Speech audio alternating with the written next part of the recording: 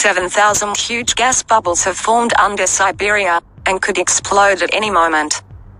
Last year, researchers in Siberia's remote Bely Island made the bizarre discovery that the ground had started bubbling in certain places and was squishy under the locals' feet like jelly. At the time, just 15 of these swollen bubbles had been identified, but an investigation in the wider region of the Yamal and Gydan peninsulas has revealed that 7,000 or so of them have cropped up, and the concern now is that they could explode at any moment. At first, such a bump is a bubble, or bulgunyakh, in the local Yakut language.